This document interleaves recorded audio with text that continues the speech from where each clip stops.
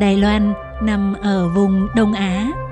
là hòn đảo xinh đẹp phía tây bắc Thái Bình Dương, có dãy núi trung ương bề thế, che chở những thị trấn làng mạc dưới chân núi.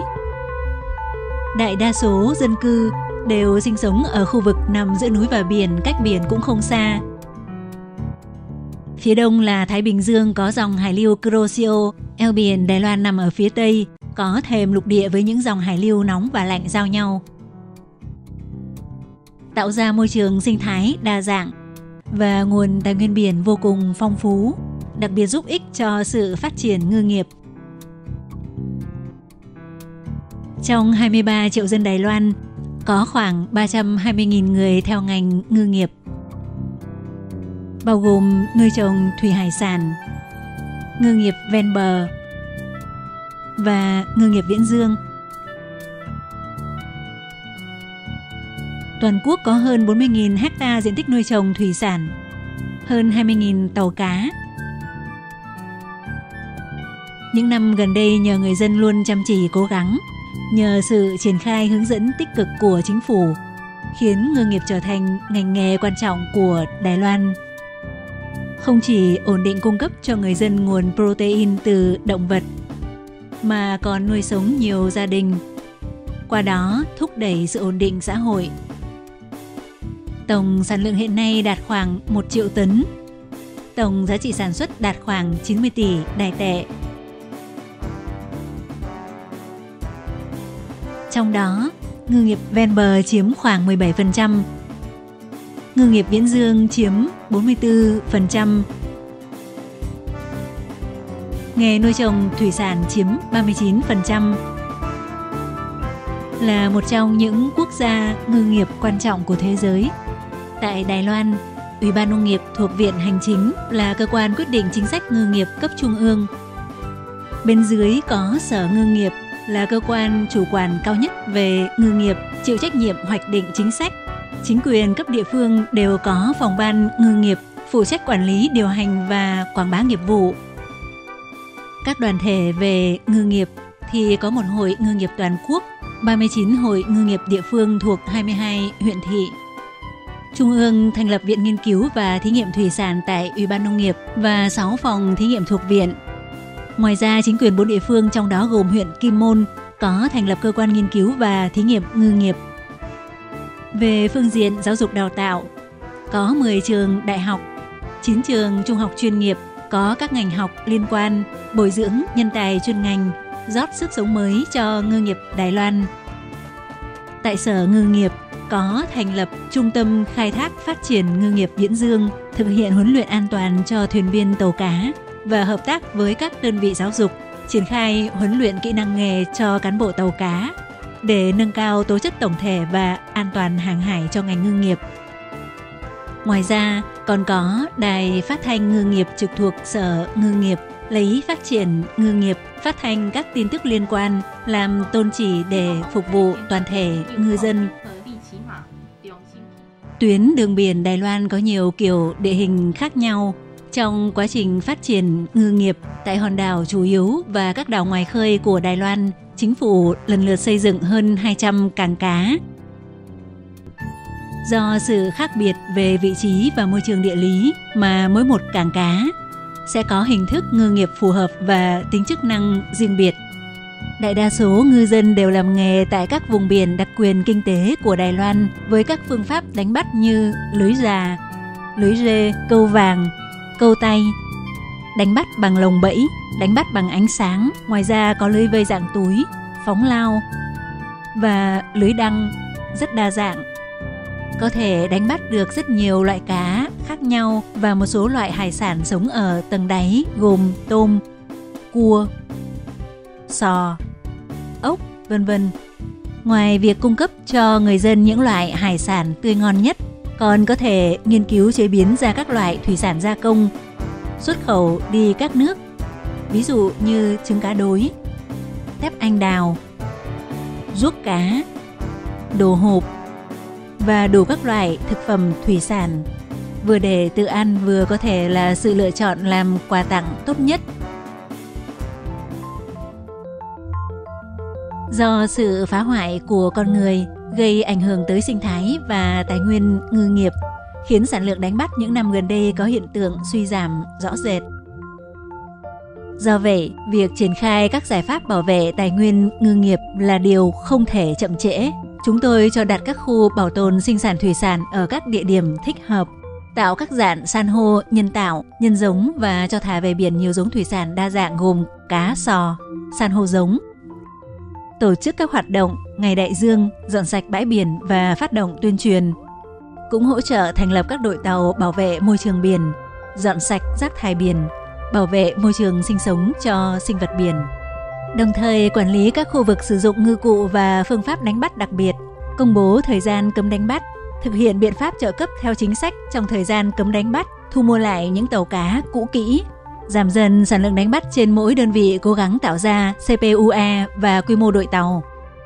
Ngoài ra, chúng tôi cũng triển khai ngư nghiệp có tính giải trí,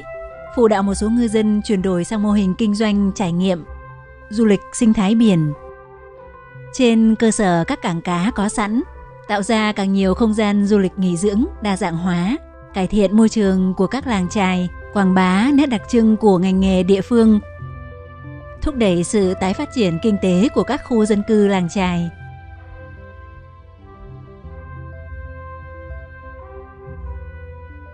Hàng trăm năm nay, ngư nghiệp Đài Loan không ngừng phát triển, kỹ thuật và quy mô ngày càng thành thục hơn.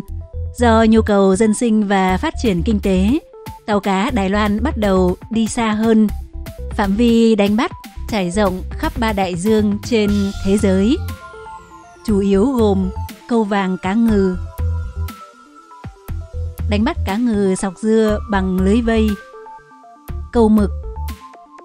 đánh bắt cá thu đao bằng lưới vó mạn tàu kết hợp ánh sáng, gồm các phương pháp đánh bắt như trên. Nhờ thành tích đánh bắt cá của Đài Loan từ trước tới nay, khiến ngư nghiệp viễn dương của Đài Loan đóng vai trò quan trọng trên thế giới. Thông qua Công ước Liên Hiệp Quốc về luật biển và thể chế ngư nghiệp vùng biển chung được thiết lập bởi Hiệp định về nguồn lợi cá của Liên Hiệp Quốc, khiến Đài Loan trở thành thành viên của Tổ chức Ngư nghiệp Quốc tế. Năm 2016, Đài Loan lập ra điều lệ ngư nghiệp viễn dương để đáp ứng tốt hơn xu thế quản lý của quốc tế mỗi năm cũng tham dự vài chục hội nghị quốc tế và dựa theo các biện pháp quản lý liên quan để xây dựng luật trong nước, làm tròn trách nhiệm và nghĩa vụ công dân quốc tế. Đài Loan cùng với gần 20 quốc gia ven biển tiến hành hợp tác về ngư nghiệp, không những bảo vệ quyền lợi mà còn xúc tiến tình hữu nghị song phương. Những món ngon trên mâm cơm của người Đài Loan không phải đều là hải sản được đánh bắt từ biển mà có nhiều loại thủy hải sản nuôi trồng dễ kiếm trên thị trường chất lượng tốt, giá cả hợp lý. Đài Loan thuộc giải khí hậu cận nhiệt đới với kỹ thuật nuôi trồng thủy sản không ngừng sáng tạo, giúp Đài Loan nổi như cồn trong làng nuôi trồng thủy sản. Với nhiều giống thủy sản nuôi trồng trong các môi trường khác nhau, ví dụ thủy sản nước ngọt có cá trình, cá rô phi, thủy sản nước mặn có cá vược, cá song, cá măng. Ngoài ra còn có tôm thẻ chân trắng, ngao hoa, hào và các loại nuôi bằng lồng trên biển gồm cá bớp, cá song, cá chim, vân vân.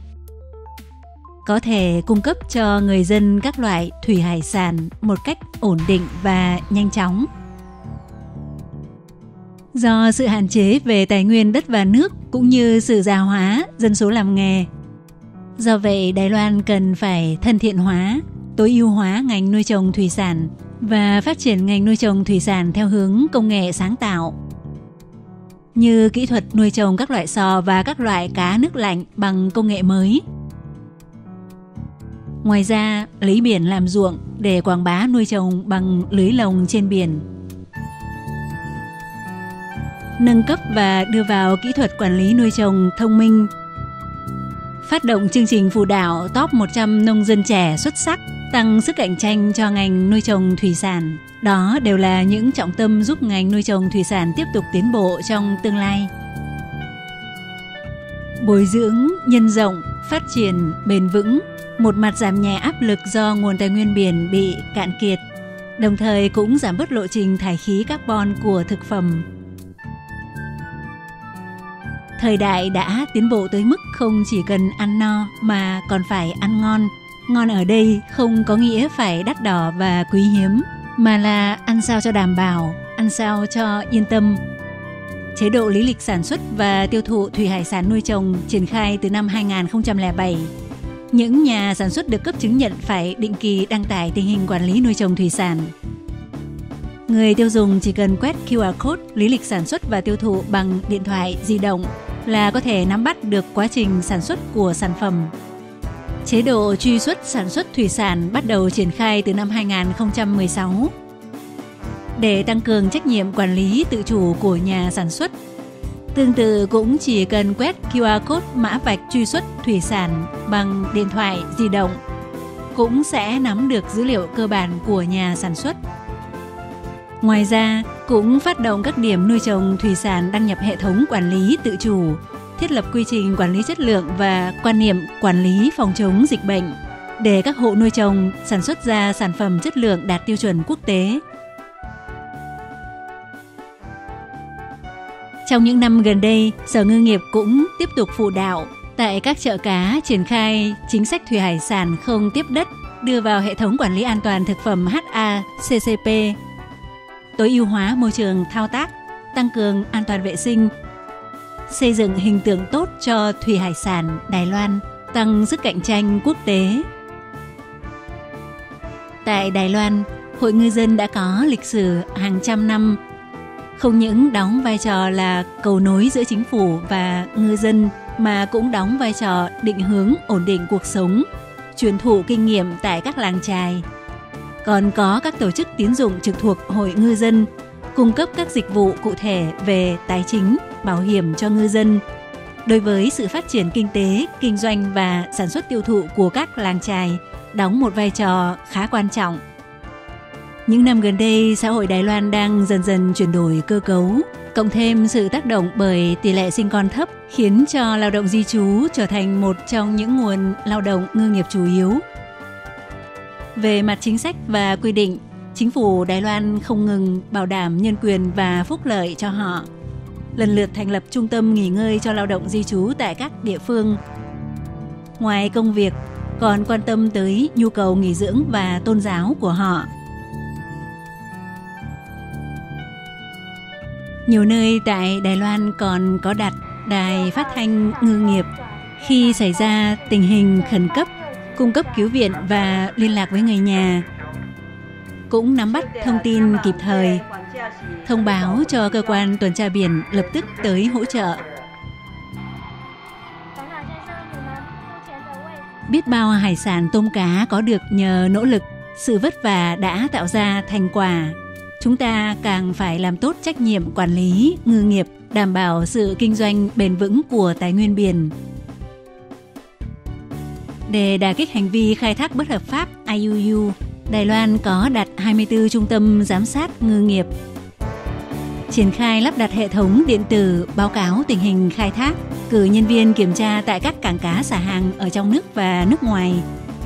Cũng kết hợp với việc tự khai báo lượng hải sản bốc rỡ để truy xuất hàng hóa hải sản xác thực hơn đồng thời triển khai chính sách giảm lượng tàu và chế độ quan sát viên để nỗ lực thực hiện kiện toàn cơ cấu ngành ngư nghiệp. Ngư nghiệp là ngành kinh tế quan trọng của Đài Loan, cũng là nguồn thu nhập của nhiều quốc gia. Để đảm bảo sự phát triển lâu dài cho ngư nghiệp, Sở Ngư nghiệp sẽ tiếp tục triển khai công tác bảo vệ, quản lý tài nguyên biển và ngư nghiệp, đồng thời xây dựng ngành nuôi trồng thủy sản thân thiện với tài nguyên đất đai và nước để phát triển ngư nghiệp bền vững, đạt được sự cân bằng với tài nguyên thiên nhiên.